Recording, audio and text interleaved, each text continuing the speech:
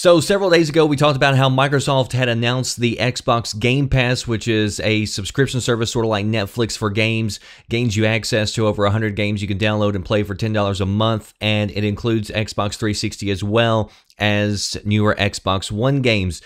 Now Sony is striking back because, as we all know, competition is good for everyone, especially you.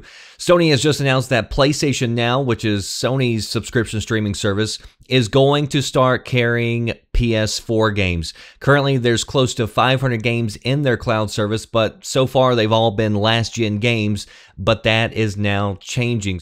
Sony says they're going to start testing this in a few weeks with beta testers with the newer PS4 games, and that PS4 games will be included in the current subscription models, which I take to mean that prices aren't going to go up simply because they're adding in these newer games. PlayStation Now is available on PS4 and Windows PC. Sony even makes the point of stating that you'll be able to start a PS4 game on your console pick up where you left off on a Windows PC thanks to cloud saves. That's one of the features they're advertising whenever they made this announcement. Which, let's be honest, this is probably going to cause some major butthurt to the most extreme tweens fighting the console wars because a common war cry is that if a game is available on the PC, then of course there's no longer any reason whatsoever to own that particular console, even though the game may not be available on other consoles.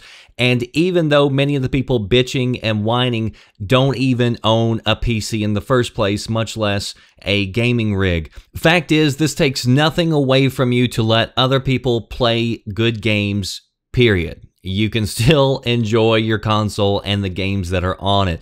And this really shouldn't be surprising for anybody who's been following this channel for a while. I put the two together back in August of last year, told you that PS4 games were going to be coming to PC eventually, and here we are. There are still some differences between the Xbox One Game Pass and PlayStation Now. For instance, you can download games on Xbox, so you're not dealing with latency. Even though that I found really the latency on PlayStation Now, whenever I tried it out with the trial, it, it really wasn't that bad, but it probably depends also on your connection.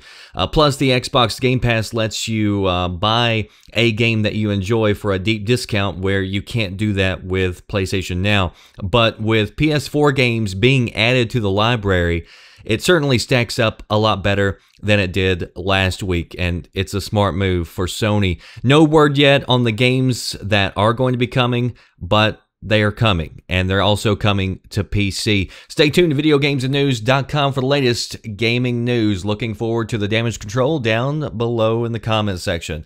I'll see you next time. Thanks for watching. Are you listening? Damn.